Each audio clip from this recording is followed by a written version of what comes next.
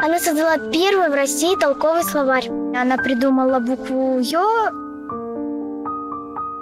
Если мы будем любить нашу словесность, если мы будем так же относиться к ней, как относилась княгиня Екатерина Романовна Дашкова, оставившая нам великое наследие, причем не только в области русского языка, а в области государственной идеологии, но остались и материальные памятники.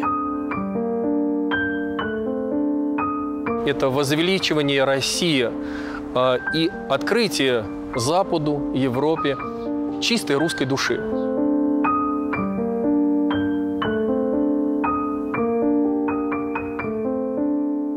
Именно она стала олицетворением просвещенного века –